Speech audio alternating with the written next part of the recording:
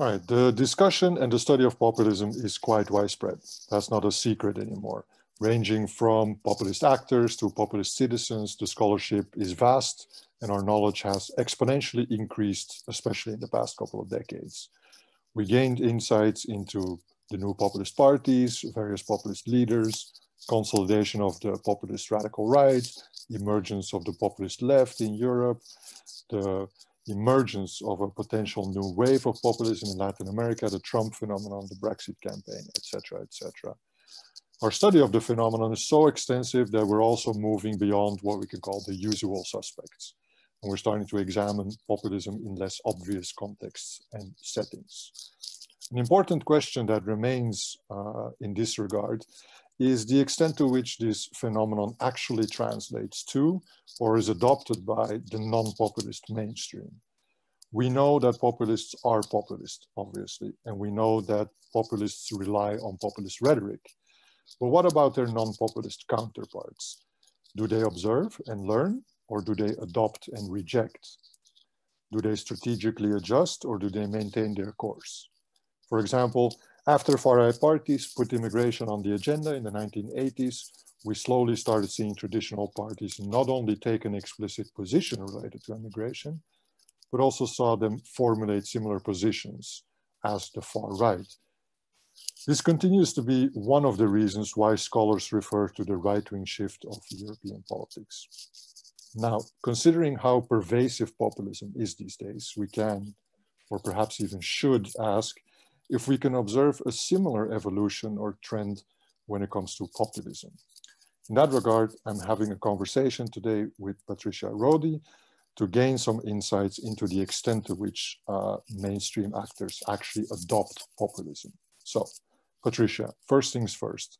There are several different and a wide variety of interpretations of what populism is exactly.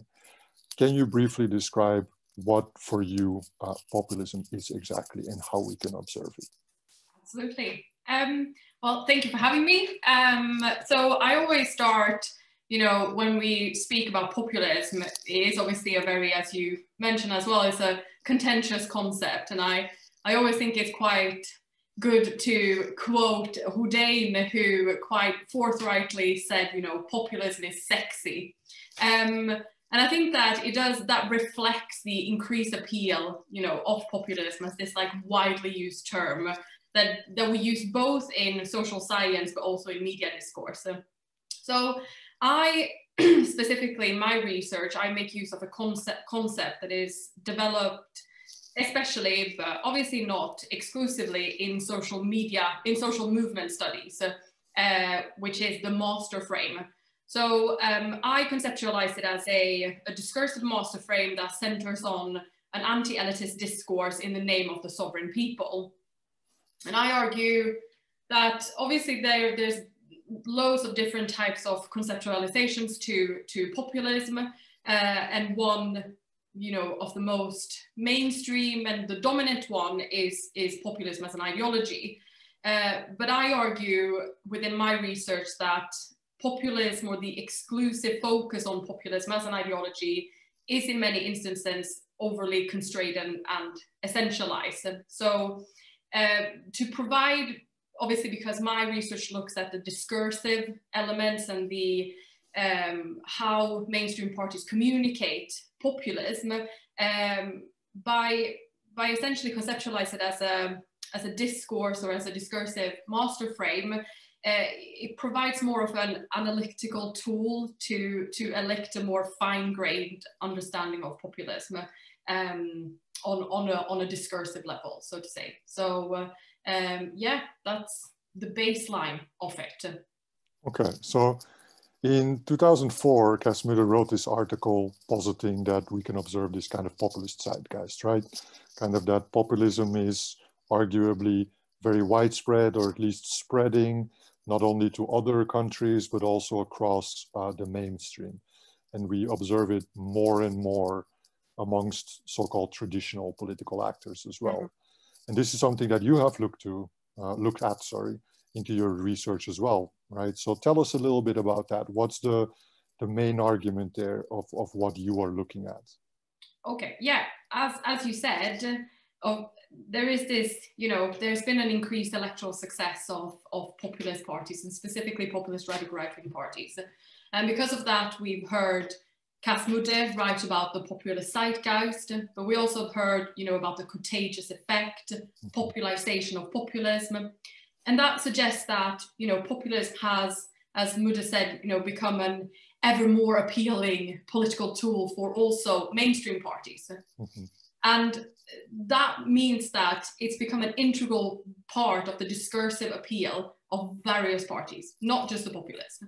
So um, the, the importance of exploring, you know, this idea of a populist zeitgeist and whether or not that is valid is evident in the light of the assumption that populism could, or you know, indeed does, pose a threat to stable and liberal democracies. And I think that a lot of scholars have raised the issue that populist views can create polarized effects uh, and cause the frag fragmentation of political systems. So if we follow that logic, if mainstream actors then start to copy this type of populist narratives that are expressed by the populist parties, then it might spread, but it also might change the basis of specific political cultures or even transform liberal, you know, the liberal character of Western democracies. So I think that we hear a lot of these like, you know, populism, populist zeitgeist, the contagious effect of populism. A lot of, mainstream parties have become, you know, populist. But the paradoxical fact remains that although a lot of scholars and pundits argue that, you know, populism has become an integral part of, of various parties, of the discursive appeals of various parties, there is not that much uh, research that actually focus on the discursive and rhetorical elements of populism, uh, and specifically how this is adopted by mainstream parties. So what I saw when I started to look at this broad scholarship is that uh, a lot of studies don't distinguish between how political actors actually make use of the main signifiers of populism, so broadly considered to be the people and the elite, and my what I wanted to do with my research was to uh, try to fill fill that gap essentially. Um, and I I think that it's really only when we dissect and and unpack populism to look at how uh, the two main signifiers, the people and the elite, are employed by the mainstream parties that we can we can be certain if and how uh, the contamination of populism has taken place on a discursive level.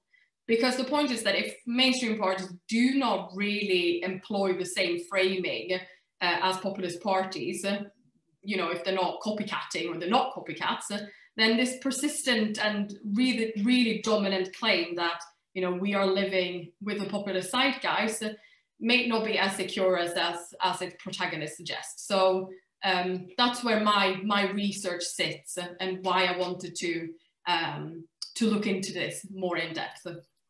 Right, so you, you refer to, to, these two populist signifiers, right? The people and the elites. And I think we can agree that however we or you or I decide to define populism, that's pretty much what everybody degree, agrees on. So in your research, like how do you measure or, or, these amongst mainstream political actors, these populist signifiers of the people and the elite, how do you get a grip, a grip on those two concepts really? So it's a really good question.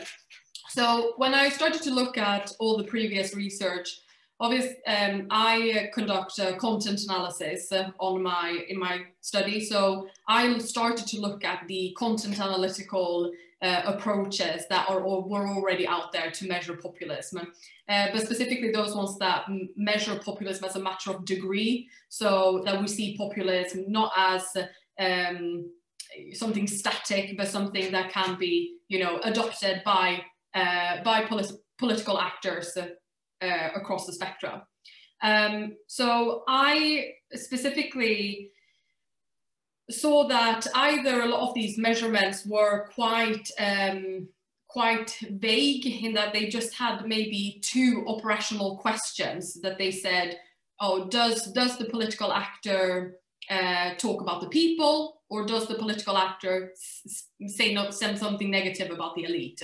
Obviously, this is very, you know, uh, very not as as it was. But um, what I thought was that that doesn't really um, gather what populism is because it's not just about talking about the people and it's not just about saying something negative about the elite but it's about the antagonism and how we speak about the elite and how we speak about the, the, the people. So um, I took inspiration from the COST uh, network on populist political communication um, and Priory Scholarship, obviously, they have developed uh, code books and I tried to incorporate more of a fine-grained um, account and how to actually, uh, you know, operational questions to actually capture the people, people centrism and anti anti elitism, but also uh, more of a broader categorization of how within a populist account how parties can actually construct and articulate the people and the elite. So not for example um, you know the people as one we see in right-wing discourse for example that they speak a lot about the cultural perception of the people. So whether or not that's the type of uh, discursive frame that we see also transcend into the discourse of, of, of mainstream parties. So um, I, by taking this synthesized approach to, to a code book, uh, or a, more of like a multi-indicator measurements than I think we've seen previously, um, is that it, focused on the lowest common denominator of populism, which I think is really important, is focus on what it says that it's supposed to focus on, on populism specifically. Uh, and then also by employing more of a multi-indicator measure, as I said, you can capture uh, populism in addition to, to the distinct elements. Um, and that is significantly important uh, because it engages with the concept that Luke March speaks about, which is demoticism. Um, and demoticism is essentially, in, in um, Luke March's article, he speaks a lot about that what we are seeing isn't really a populist zeitgeist, but a demotic zeitgeist. So a lot of mainstream parties might not employ um, an anti-elitist discourse in the name of the sovereign people, but they might just speak about the sovereign people without this anti-elitist element. And obviously that's not populism.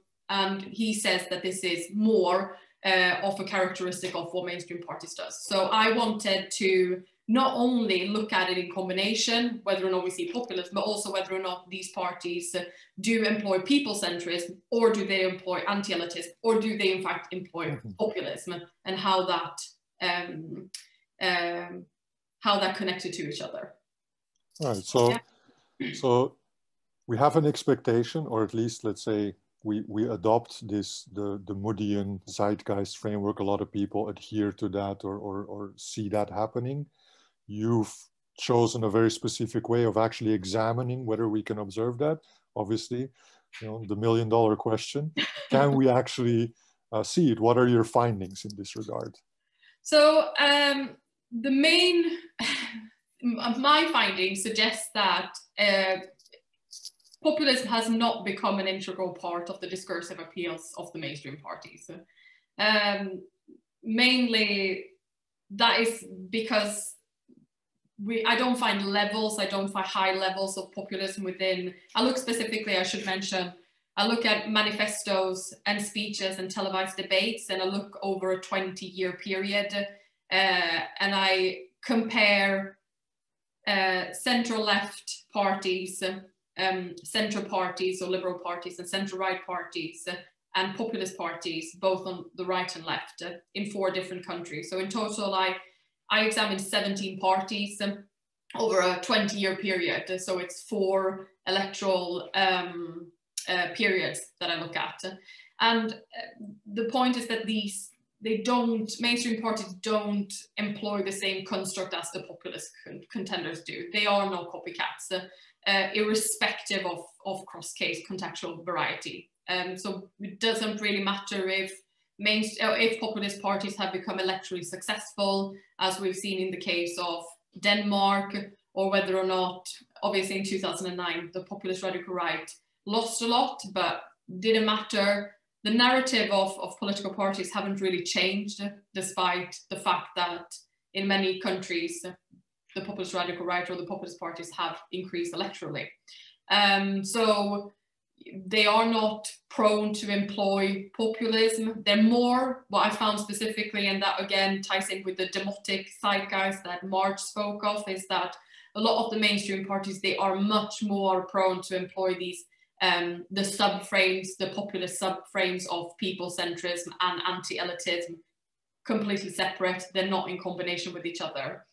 And I think that, you know, um, that's really, really interesting. But more specifically, of course, I did find some variation within the parties as well uh, and across countries and also across sources, which I think was even more important to highlight was that uh, manifestos more generally were very, they didn't have a lot of, uh, of low levels of populism, whilst speeches and televised debate was a little bit higher. Uh, and again, I think that that also reflects the disparity that we've seen in the scholarly literature that uh, scholars who focus on manifestos specifically find low levels of populism, but those who focus on speeches find a little bit higher levels. So that might also reflect, that also reflects in my, in my studies. So, um, and then I also obviously find, you know, um, within countries and the UK more specifically was a case where I did find when I looked at the cases comparatively and compared my five cases was that in the UK was higher levels compared to the three other countries and I did see that the Conservative Party were more prone to adopt the same type of framing that the populist UK UKIP did. So again, quite a very interesting finding in, in, in that sense. All right, so if we then reflect back on the original thesis by, by Cas Mudde, does it necessarily mean that we should reject it, rethink it, maybe complement it, build on it? Like how do you, how do you see it? Like how do you put your findings into, into perspective and how do you draw any kind of implications from them? So I think that we should obviously not disregard of the populist zeitgeist hypothesis or theory. I think that the whole point is that it, it also reflects the fact that, you know, over the past two decades, there has been these like developments in Europe, and it doesn't mean that we're not seeing that mainstream parties or mainstream political actors are actually employing populist discourses. That's not the point. But the point is that how, how do we is it, is it such a zeitgeist that that has been articulated? And i think that we need to we need to be more careful in how we use populism because it, as an analytical tool we want it to be useful and by overusing it so much that you know it is uh, both in in academia but also in the media media discourse uh, um, it does become somewhat obsolete uh, because uh, what is it that we're really looking for when we are talking about populism? And I think that, uh, so I would say in terms of like the, um, what we should do with, with the populist zeitgeist article uh, is that I think it should be complemented. And I think that it's, you know, it's a, it's, it's a research that needs to be built on and it never stops. And I think that all of these uh, these new findings uh, complement to to understanding the phenomenon much much better. Okay, thank you very much, Patricia, for these insights today. Thank you. Thank you.